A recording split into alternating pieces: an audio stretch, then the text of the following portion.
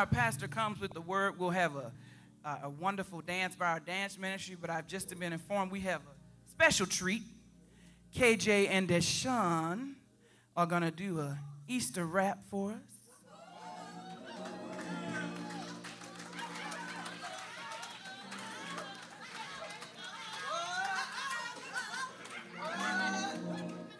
Don't be trying to act shy today. He got to get ready first. Hold on. Technology, technology, and okay. There's one part we may not be able to understand because it's fast. So we're just going to listen really, really hard. You need two.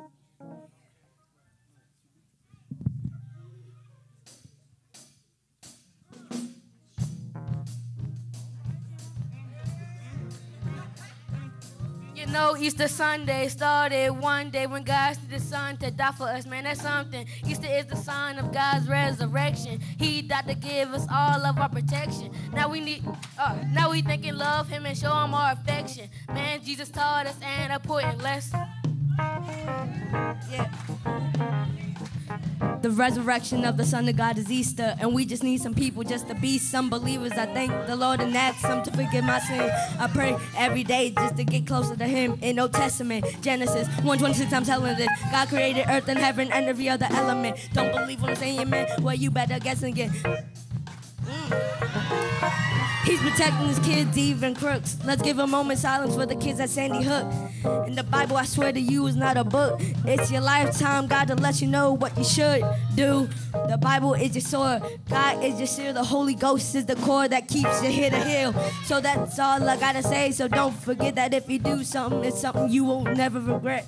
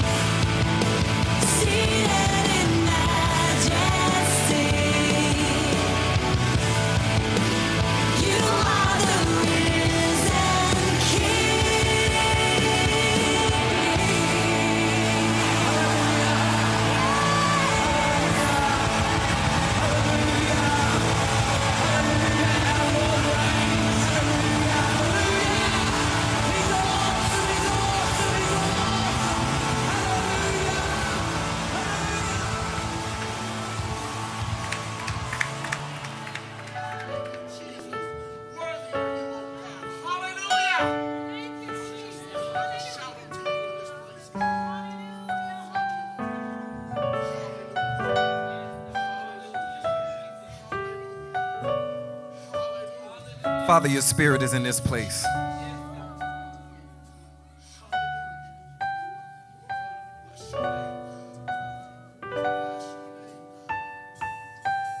Jesus, you've won the victory.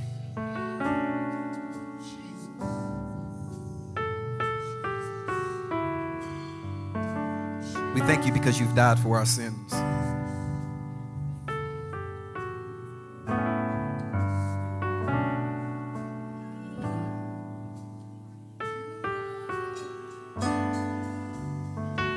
Bless your name in this place, and we thank you for who you are. God, we thank you for looking beyond our faults and seeing our need for you. Even when we thought that we were all right, you knew that we were in need of a Savior. Even when we thought that we were okay, you knew that we were in need of a Savior. So we thank you for sending Jesus. We thank you for sending Jesus to atone for our sins. Where would we be without the blood of Jesus? Where would our lives be right now without the blood of Jesus? We'd walk around with no purpose, no destiny, wondering. But because of Jesus, we have new life and life that more abundantly. God, we thank you for who you are in this place and who you are in our lives. And we bless your name right now. God, we lift up each and every person that's in this place, coming from all walks of life. But we've all come for one purpose, and that's to lift up the name of Jesus. We've all come to hear a word from you. So, God, we remove any distraction, anything that would hinder us from hearing the word. And we ask that you empower us on this day. And now, God, give me everything that I need to preach and to teach your word. And now let the words of my mouth and the meditations of my heart be acceptable in thy sight. Oh Lord, he is my strength, and I believe him to be your strength. He is my redeemer, and I know him to be your redeemer. That the people of God in this place say amen. Amen. Can we give God some praise in this place?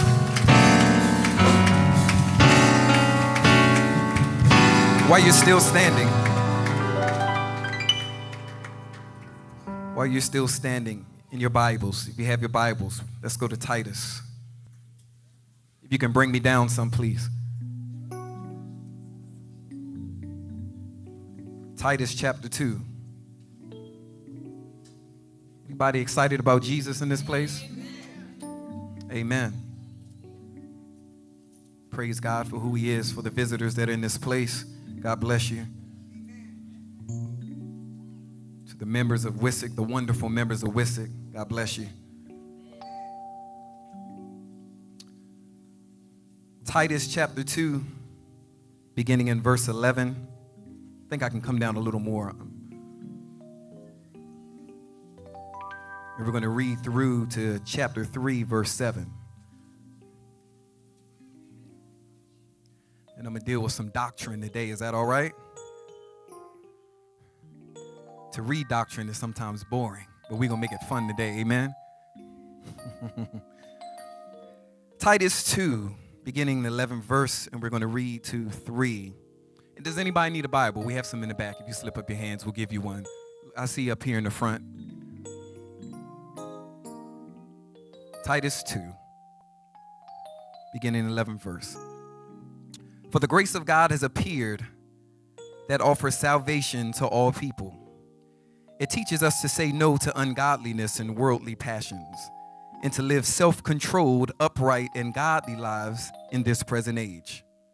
While we wait for the blessed hope, the appearing of the glory of our great God and Savior, Jesus Christ, who gave himself for us to redeem us from all wickedness and to purify for himself a people that are his very own, eager to do what is good. I said, He redeemed us from all wickedness so that we could do what is good. These then are the things you should teach, encourage, and rebuke with all authority. Do not let anyone despise you. Remind the people to be subject to rulers and authorities, to be obedient, to be ready to do whatever is good, to slander no one, to be peaceable and considerate, and always to be gentle towards everyone. At one time we were we too were foolish, disobedient, deceived, and enslaved by all kinds of passions and pleasures. We lived in malice and envy, being hated and hating one another. But when the kindness and love of God, our Savior, appeared, He saved us, not because of righteous things we had done, but because of His mercy. He saved us through the washing of rebirth, that's regeneration, and the renewal by the Holy Spirit, whom He poured out on us generously through Jesus Christ our Savior, so that having been justified by His grace, we might become heirs, having the hope of eternal life. And for a few moments this morning, I want to speak from the title Life After Death. Life After Death. You can take your seat.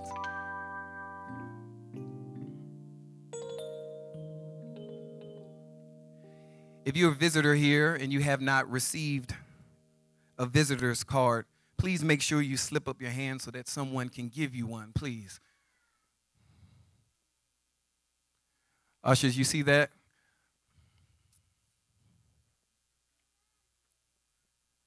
Anybody praying this morning?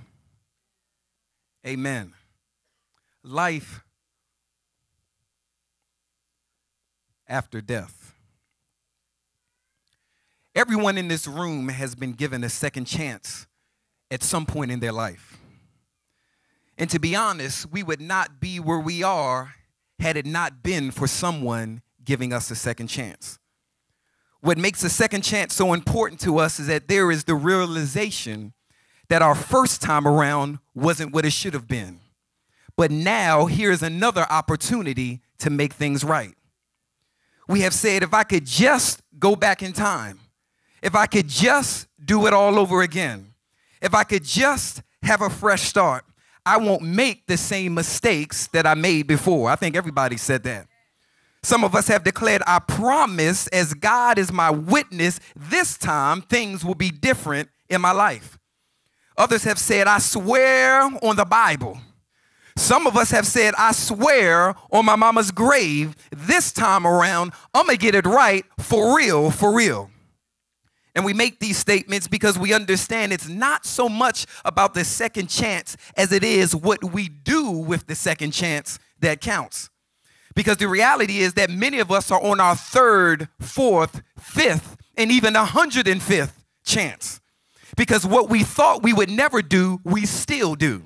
What we thought had died in us is still living. The mindset we had before the second chance is still the same mindset that we have now. So the decisions we make haven't changed. In fact, we haven't really moved forward from where we are during the time we were searching and hoping for another shot at life. And now life almost seems impossible to live. Now we must understand, first of all, that just living by itself is rough. Can I get an amen in the building? Many of us get up each day to the difficulties of our jobs, circumstances that have negatively impacted our homes. We wake up to division in our marriages and family dynamics and just trying to push through without any drive or motivation to get stuff done. But what makes life a hopeless situation where you never seem to see the upside of down or think that it can only get worse and not better is a life without knowing Jesus. Because at least when you know Jesus, and the eyes of your understanding have been enlightened, you begin to know what is the hope of his calling. You begin to know what are the riches of his inheritance in the saints. And you begin to know what is the exceeding greatness of his power towards us that believe. So, guess what that means? Your days don't always have to be brighter for you to feel better because you realize that God can get the best out of you because He gave you the best in Jesus. And this second chance you have at a life is not run by an old mindset, but it's ruled by the Holy Spirit that has given you dominion and authority to be everything God has called you to be and also stop the enemy's plan that seeks to set you back. Now you must realize that the dominion we have comes with a price. Our new life comes with a price.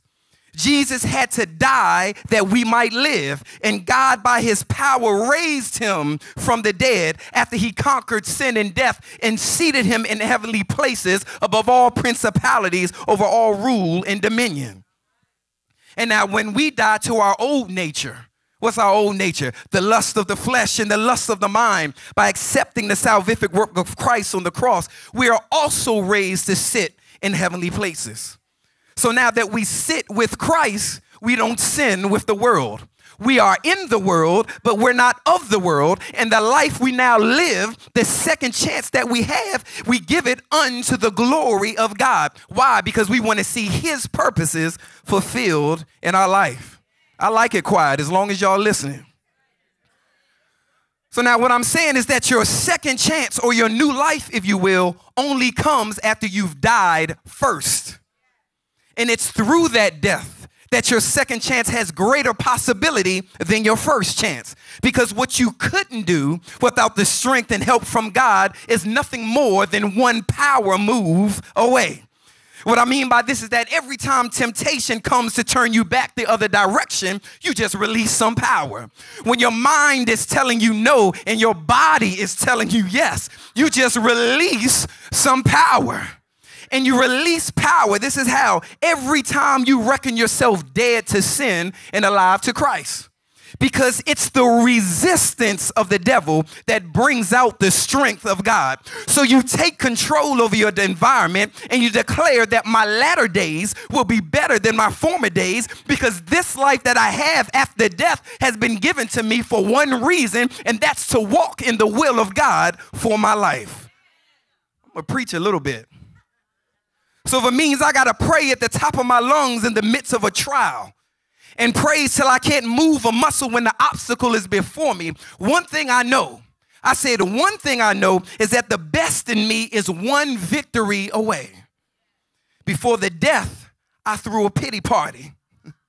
But now, after death, I got a power play that ensures that I always win. And that play comes from being a recipient of the death and resurrection of Jesus Christ. You know why? Because there's power there's power, wonder working power. And guess where it's at?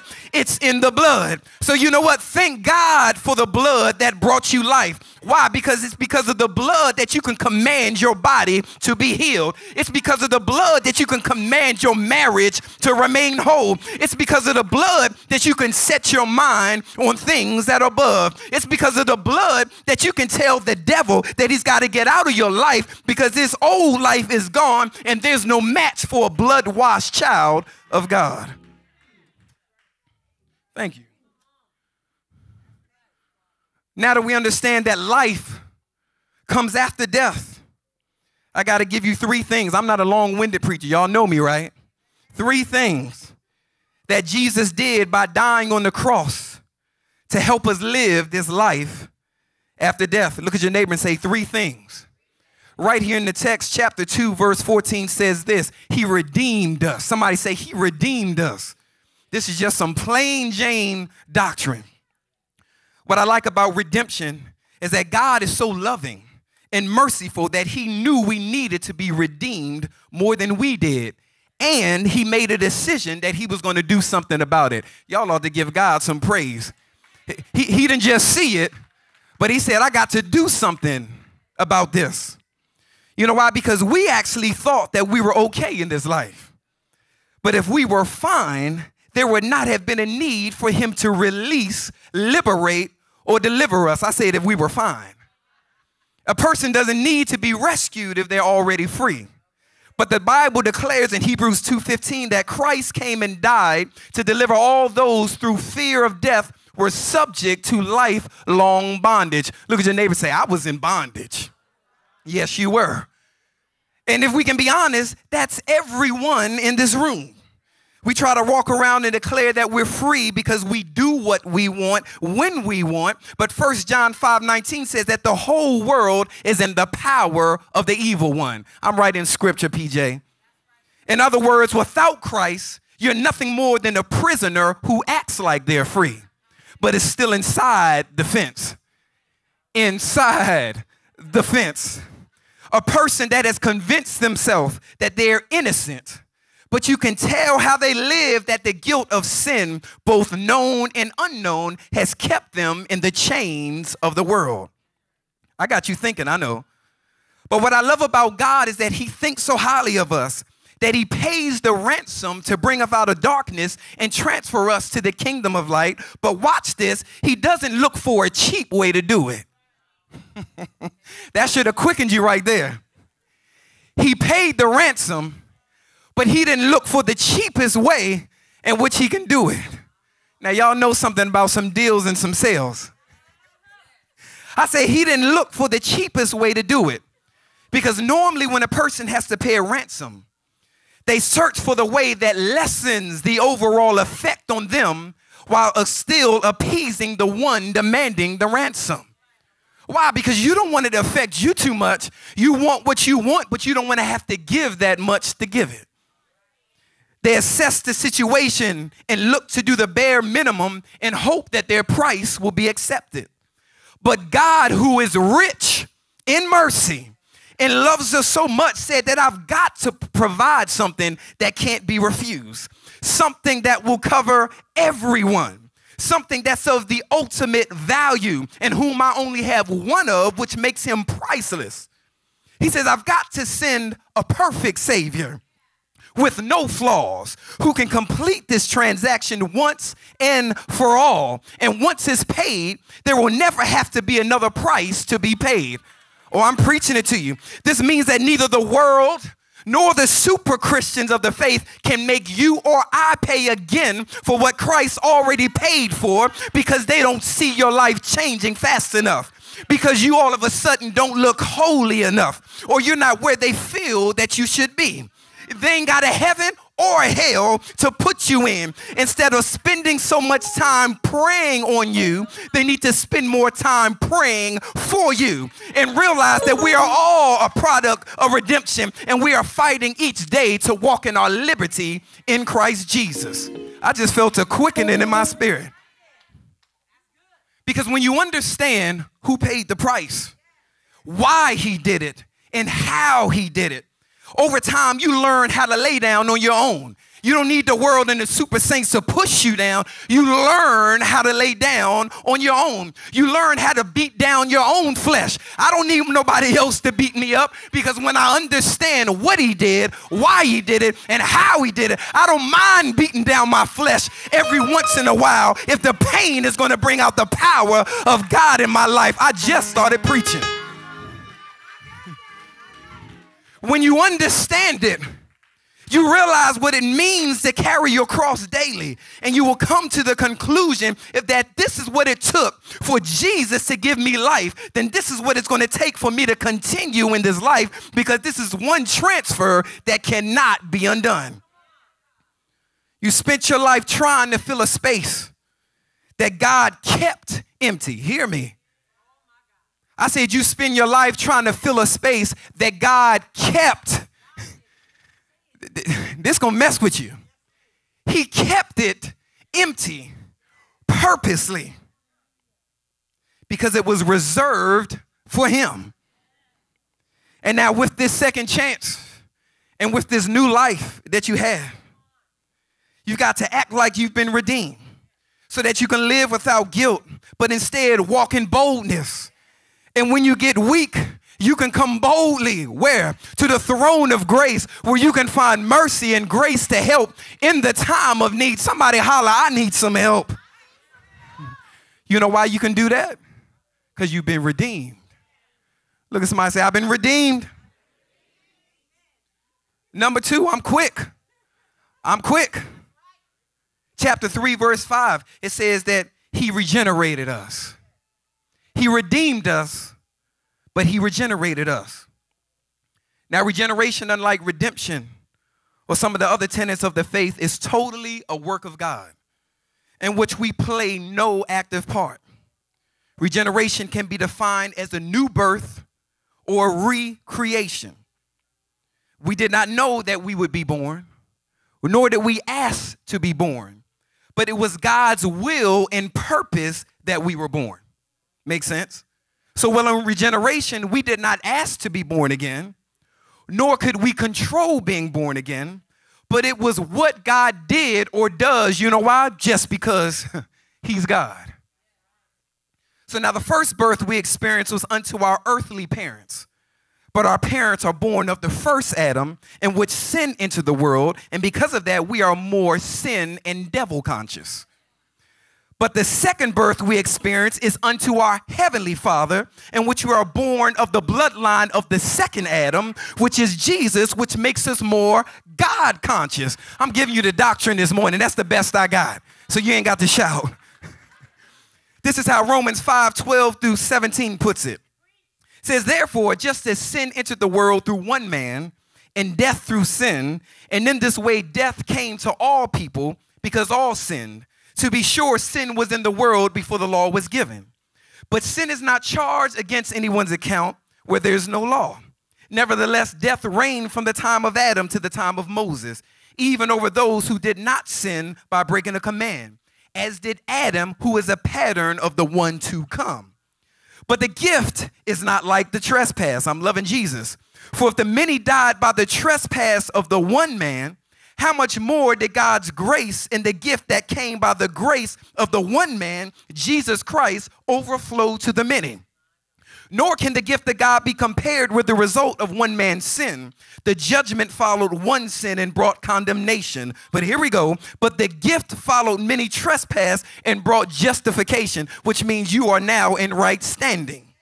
For if by the trespass of the one man death reigned through that one man, how much more will those who receive God's abundant provision of grace and of the gift of righteousness reign in life through the one man, Jesus Christ? You had a first birth, and now you get a second birth. So now, in order for us to reign in life, God had to regenerate us, or we had to be reborn again. Are you understanding this? Through our earthly parents, we are born of water and birthed in the likeness of our parents. Well, in Christ, we are also born of water, but it is the washing of water by the word. Listen now. So it is through the word that we are washed in which faith comes by hearing and hearing by the word of God. Somebody gonna get saved. And by faith, after hearing and accepting God's word, we receive salvation, in which now we are a seed of the bloodline of Christ, and by his spirit and the work of God, we are birthed again or regenerated as a new creature in Christ Jesus. Did I break it way down? Somebody, somebody got to hear it.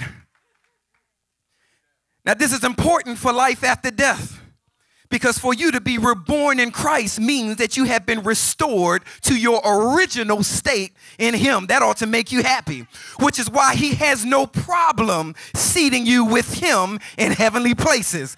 And He sets you there so that you would realize who you live for while you can look down at what you used to live to. I'm preaching up in this piece.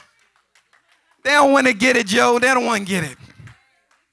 So now, as you live for Christ, you find that you have some traits within you that you didn't have in your first birth.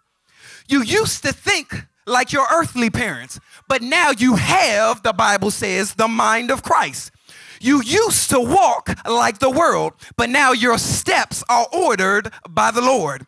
You used to talk like the world, but now that God's word is hidden in your heart, every time you open your mouth, you begin to declare the commands and decrees of God everywhere you go, and you are successful in this life. You know why? Because now you know who you really are.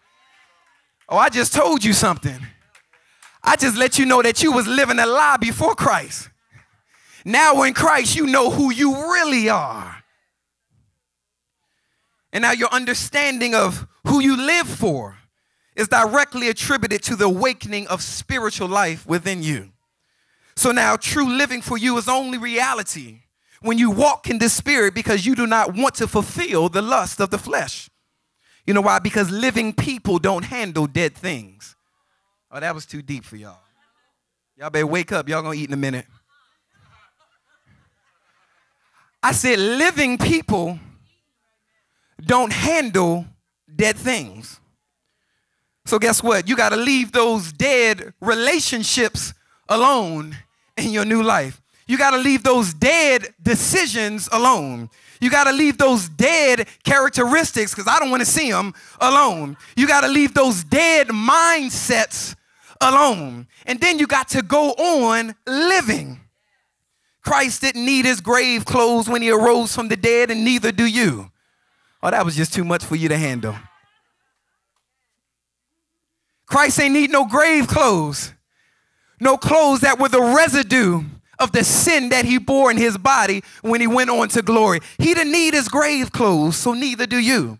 So now you got to roll the stone back over your old life and you got to not look back. Why? Because if any man be in Christ, he or she is a new creature. The old has passed, the new has come. I said, the old has passed, the new has come. Tell somebody it's time to live. Y'all ready to eat? It's all right, say yes. Don't, I don't like when people fake. Y'all ready to eat? Somebody say point three. Let's get out of here. I don't like when people tell stories. I don't like that. Mm-mm. But lastly, this is found in chapter 3, verse 5. He not only redeems us, he not only regenerates us, but he renews us.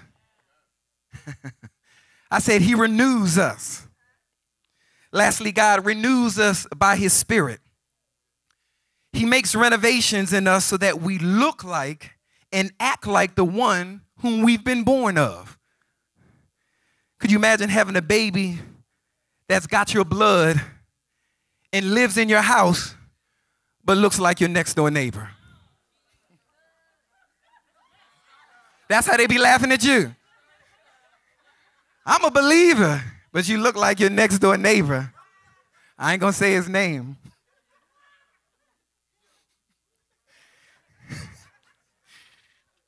Redemption brings us to God. Regeneration births us in God. But renewal brings the God out of us. Ooh, that's some good preaching right there. The three R's. And it's the God exuding from us that validates the power of his death and resurrection in us. But see, renovation doesn't come without a fight. Because while God wants to take some stuff, all of us want to keep some stuff. We all see it in our own lives. A person will get a new house with a new concept, but hang on to the old stuff. Come on, First Lady. I felt something. They would rather keep what's old, what's broken, and what they don't need. And the excuse is that they might need it at some point. It's old, it's broken, has no use, but the excuse is you might need it. y'all, y'all too holy for me. I might need it at some point, but it's broke. You ain't fixed it yet. But I might need it at some point. They say things like the stuff they keep has memories attached to it, both good and bad. And some of it served a purpose at some point in time, but now it's not useful, it's not relevant, and it's taking up space that the new stuff needs to occupy. I'm, I'm in your Kool Aid because I know the flavor. He told me the flavor of your Kool Aid. Look at your neighbor say, take a sip, take a sip. I don't know why I told you to say that. That ain't spiritual. Pay attention to me. And the reality is that the new house, watch me now, never really reflects what it could be while the old stuff is still there. Woo! Somebody say, Pastor, you preaching. it's not a question of whether the house is really new because you see the work, but what it's filled with is inconsistent with the rest of the house. And rather than embracing the truth that the old stuff doesn't fit with the new, watch me now, you argue a lie about what belongs in the house just to save face, and someone has to try to coerce you to let that mess go. Whose street I come down? It's all right. I'm driving a Pinto too, and I'm still pimping it in Jesus' name. See, it's not a question about whether you are new or if you have a new life. But many times, what we are filled with is inconsistent with the totality of who we are. Talking about the new life, Greg. We lie to ourselves and to others because we're prideful and don't want it to appear that we're not delivered from everything. But first, you need to realize that there is no condemnation for those that are in Christ Jesus. And secondly, God is so smart and God is so wise. He gave you the Holy Spirit, and the Bible calls him the helper because you're behind, and my behind, we just need some help. Yeah, y'all too holy. I need some help. I ain't got it together. I think I sinned this week. Who sinned here this week? Raise.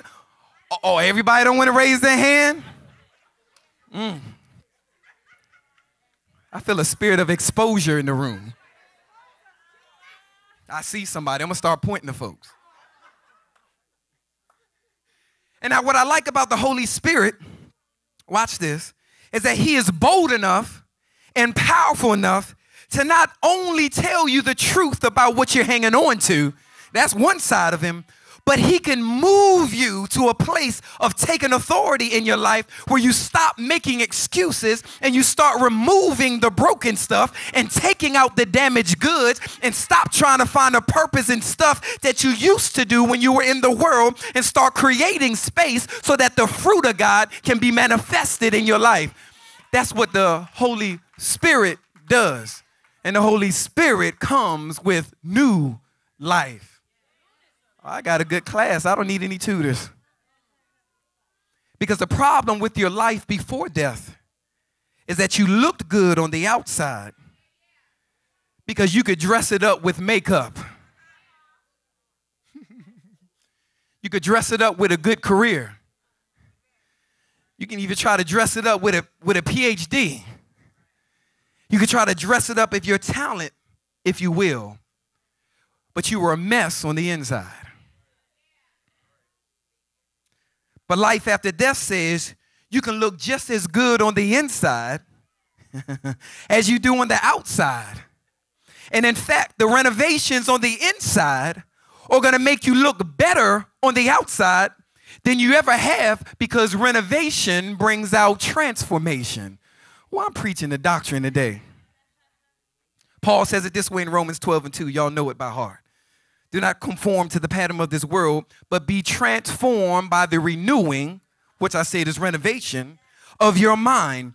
Then you will be able to test and approve what God's will is, his good, pleasing, and perfect will. And see, this is the place we want to be in our new life. It's a life of continual transformation that lives out or is an example of God's good, pleasing, and perfect will. And it's only in His perfect will that the worst of your life becomes the best life you've ever lived. Jesus didn't die, He didn't just die, but He got up. I said, Jesus didn't just die, but He got up. You didn't just die in Christ, but you actually got up. So if you got up, you don't have to still live like you're dead because you realize that there's life after death. And when you get up, you leave hell right where it is, behind you and you look unto Jesus, who the Bible says is the author and the finisher of your faith. You know why? Because you've been redeemed, you've been regenerated, you've been renewed, and the only thing that you got to do now is run. You got a second chance. That's what you wanted. Now, what you got to do is run. You didn't know your purpose. Now you can see it. You got to run. You weren't certain of your destiny, but now you know it. You got to run. You can run now because the life of God is in you. Let me tell you something. the life without God is a life of weariness There's a song says, Lord, I'm not tired yet. That's believers singing that song. There's a life that's before Christ that really isn't living at all, and where you just get tired, you get drained, you live in guilt, you live in shame, though you try to act like it's all together. Come on, I'm with you. We're all there.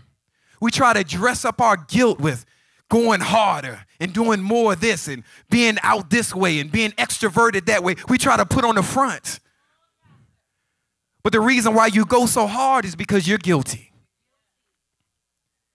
And you go hard when you're outside the house, but when you go back in the house, you're tired. But guess what? You can't hold that in but so long.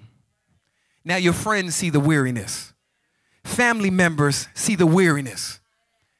But it's something about when the Holy Spirit quickens you after you've said yes to God. You get tired from the toils and the temptations and the things going on in this earth. But I thank God for the grace that fills you up and gives you the strength that you don't have when you're tired, then you can sing the song, Lord, I'm not tired yet. It's not that you don't look tired sometimes, but with your new life, you can say, I'm not tired yet. Because I ain't dead no more. I got life after death. So I got to press and I got to push towards the mark of the high calling that is in Christ Jesus because there's something waiting in front of me. I can't go back. I got life after death. Let me help you. If you've received Jesus Christ, you have this life whether it's visible or not. I just want to help some people out with that. Because Christians can be so cruel. Yeah, I'm on your street too. The world is already cruel. You ain't there yet? I'm telling you, whether others see it or not, if you received Christ, you have a new life. But if you haven't received Christ, you're dead. But you need to die with Christ if you want to live again. It is humiliating to die for Christ. Extremely humiliating. You don't look cool dying. you don't look cool. You'll lose some folks along the way. Dying causes you to get persecuted. but it's worth it for the life. And I know we sing songs about when we all get to heaven, what a day of rejoicing that will be. But eternal life starts here. You ain't got to get wait to get to heaven to rejoice. I can rejoice right now because Jesus lives. And because he lives, I can face tomorrow. Oh, somebody need to sing a stanza of that.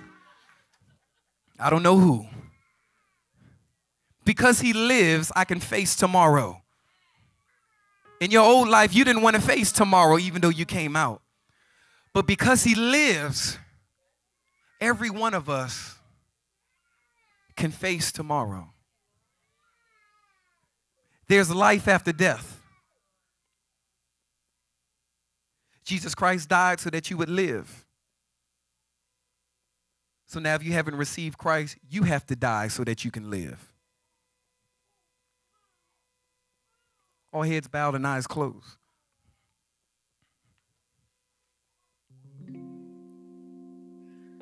God, you are awesome in this place.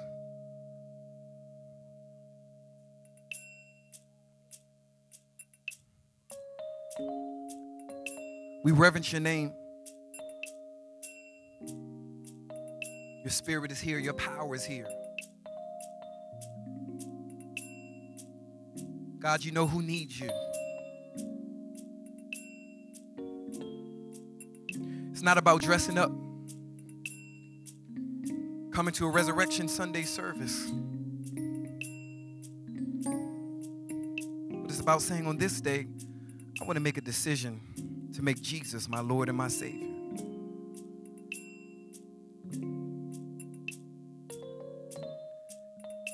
Maybe you're here today and you're saying, I just came because I was asked to come. I want to see God do some great things in my life, but I don't know God like that.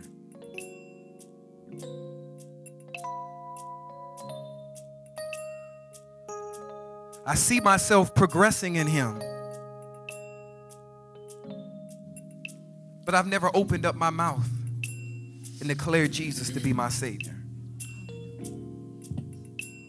The Bible says that if you confess with your mouth Jesus Christ, so there's a mouth confession, but God is looking at your heart.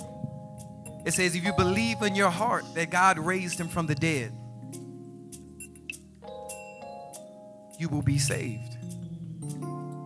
Jesus, Jesus, Maybe you're sitting here today and you're saying, I didn't know that's all it took. to save a wretch like you and me. That's actually something that I believe. That's actually something that I understand. That's something that I want. And you're in this place today and you're saying, I need to receive Christ as my Lord and Savior. like you. That's love. Regardless of who's in this room, all eyes closed and praying in the room. Make your way up to the front and say, I want to receive Jesus today. He stretched him. It's all about God and you. Make it personal. Jesus died for you, for your sins, to give you a new life. If you know you need Jesus Christ on today, just make your way up to the front. hung him high. They stretched him wide. You can even slip up your hand if you know you need to receive Jesus.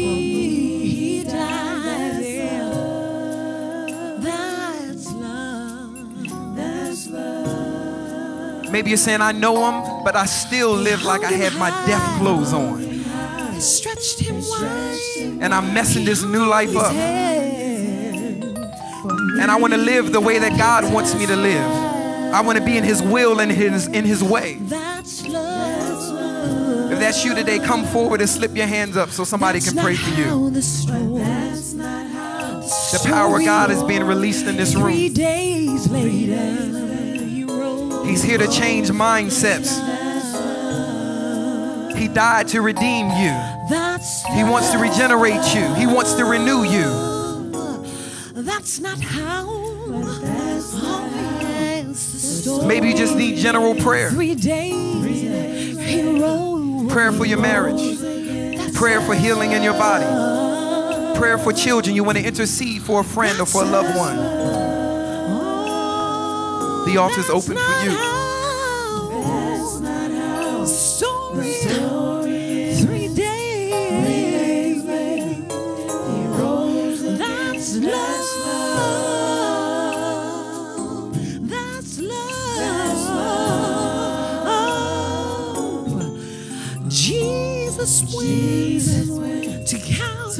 There's nothing mystical about this altar, but it's just a step of faith for you. If you know you need to walk down here, just walk down. He loves you. He loves you. God, we decrease pride and egos in this room. Jesus went to Calvary. Any feelings of shame, we call on confidence and boldness in the room. In the name of Jesus.